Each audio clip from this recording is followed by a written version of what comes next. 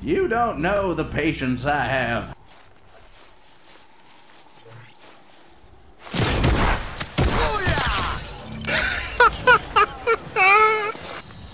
and that's the end.